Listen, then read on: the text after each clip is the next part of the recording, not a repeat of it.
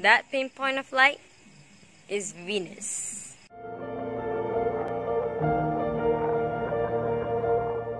Assalamualaikum warahmatullahi dan hai everyone. So video hari ni agak berlain sikit sebab saya bangun awal pagi untuk menyaksikan perbarisan objek samawi yang sangat indah. Okay, so hari ini saya akan menjelaskan tentang planet dan bagaimana untuk membuat pemerhatian terhadap planet pada tahun 2020. Apa itu planet? Okay, menurut International Astronomical Union, definisi yang terkininya, planet hendaklah mempunyai tiga kriteria. Kriteria pertama, objek tersebut hendaklah mengorbit satu bintang.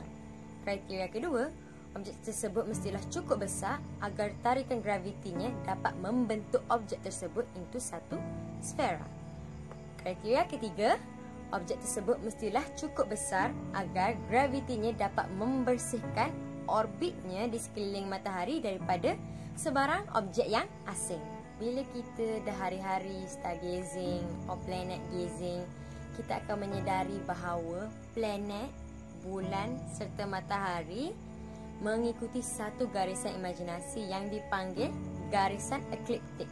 Okay, garisan ekliptik ni merupakan jalan ataupun garisan yang diambil oleh bulan, matahari serta planet-planet menerusi langit di bumi. Sebenarnya sebarang transisi objek samawi di langit bumi ini merupakan cerminan putaran bumi serta pergerakan bumi di sekeliling matahari dan juga pergerakan objek-objek tersebut di sekeliling matahari. Di langit kita ada empat planet yang senang untuk dilihat dengan mata kasar. Hari ini saya akan jelaskan tentang planet Venus ataupun planet Zura, Mars, planet Marikh, Jupiter, planet Mushtari dan Saturn, planet Zuhal. Okay, first, planet Venus ataupun planet Zura. Planet Zura dikenali sebagai bintang pagi ataupun bintang petang. Planet Zura dan juga satu lagi planet iaitu planet Mercury ataupun Utarik merupakan planet inferior kerana orbitnya yang lebih dekat dengan matahari berbanding dengan bumi. Ini menyebabkan kita dapat tengok planet Zura ni pada waktu awal-awal malam lepas maghrib ataupun waktu awal pagi sebelum matahari terbit. Okay, bila kita dapat tengok uh, Venus pada tahun 2020, okay, untuk bulan April kita dapat tengok planet Zura ni atau planet Venus pada kecerahan yang paling cantik pada 27 April sebagai bintang petang. So, tengok di bahagian barat uh, selepas matahari terbenam, sekitar matahari terbenam, okay, awal-awal malam kita dapat tengok satu bintang yang sangat cerah. Okay, itu adalah planet Venus. Manakala bulan-bulan yang seterusnya, planet Venus akan menjadi bintang pagi. Okay, seterusnya, planet Mars. Planet Mars ni planet yang paling dekatlah dengan kita, our neighbor, selain daripada planet Venus. Okay, one of the most explored planet ataupun planet yang paling diterokai.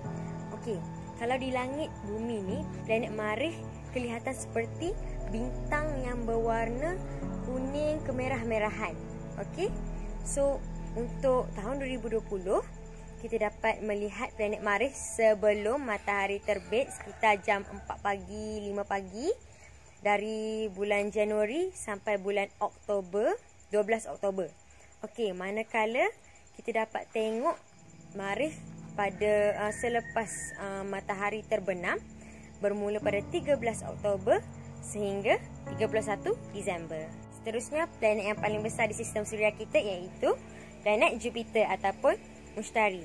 Okay, melalui teleskop yang kecil, kita dapat tengok planet Mushtari ni dengan jalur-jalurnya yang cantik serta bulan-bulan yang terbesar iaitu Callisto, Io, Europa dan Ganymede. Okay, dengan mata kasar pula kita dapat tengok planet uh, Mushtari ni sebagai bintang yang sangat terang. Okay, sepanjang bulan April ni kita dapat melihat planet Mushtari bersama dengan dua planet yang lain dalam satu garisan iaitu planet Saturn ataupun Zuhal dengan planet Marikh ataupun Mars.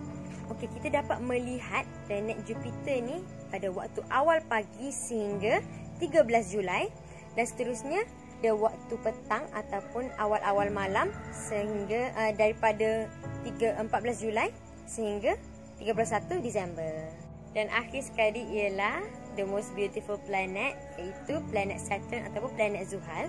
Okay, melalui teleskop kecil kita dapat melihat okay, ring ataupun cincin di sekeliling Zuhal. Okay, sangat kecil tapi still visible.